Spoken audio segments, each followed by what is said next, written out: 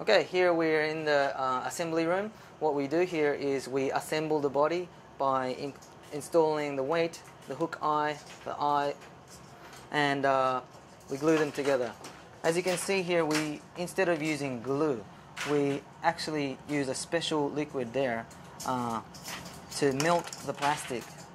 Uh, this basically is more effective in uh, sticking the glue to, uh, sticking the body together. And as you can see, each individual lure is done by hand, one by one.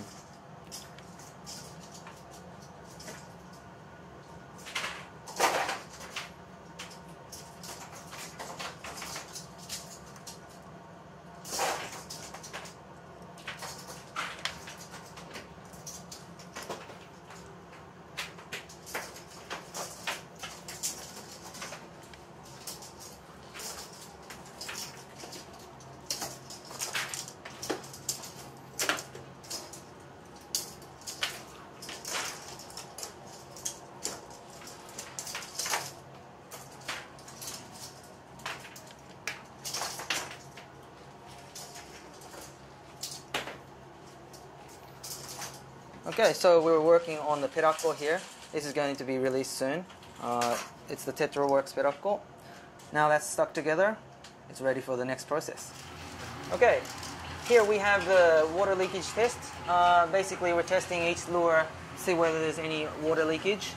Um, we place the lures in this 70 degrees water, and by uh, having hot water, the air inside the lure expands. If there are any leakages, there will be bubbles coming up. And this looks like it has passed its test.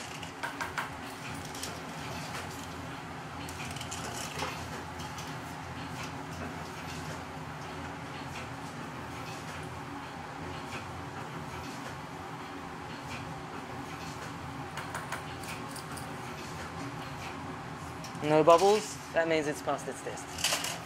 Okay, here I'm at the colouring booth. Um, what we're colouring here is the Tide Vibe Slim 140. This, is, this should be released in September this year, 2011.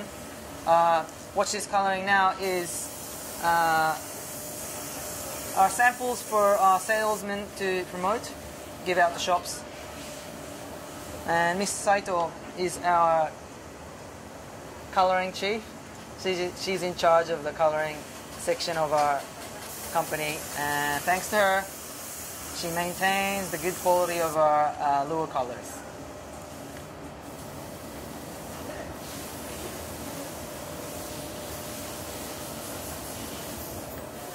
Okay, we're here at the Duo's second coloring room.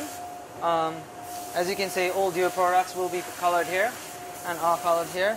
Um, depending on the lure, the process is between 5 to 15 processes, uh, depending on the color, obviously. And as you can see, each color is done, painted one by one by hand. And let's have a closer look at what she's doing over here.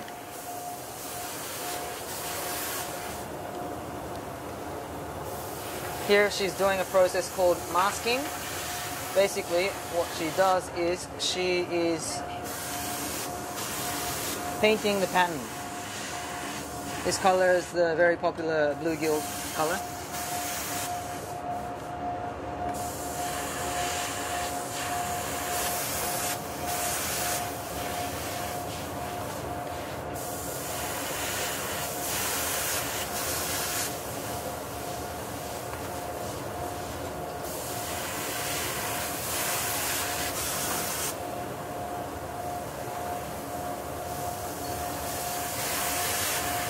It looks efficient, but with so many processes, it takes a long time.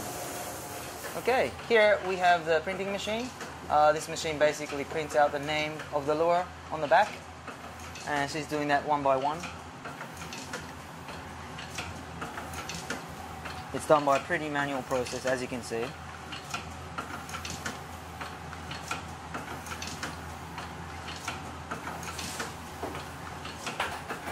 And this is what it looks like. This is the this is a finished print, and not only does this machine print the name, but also patterns such as this. Okay, here we have the duo staff quality checking each individual lure. Uh, the lure has been painted and the name has been printed, as you can see. And they quality check each individual lure and one by one. And if there are any, any dust or scratches on the lure, uh, they discard those lures and those that pass go on to be packed.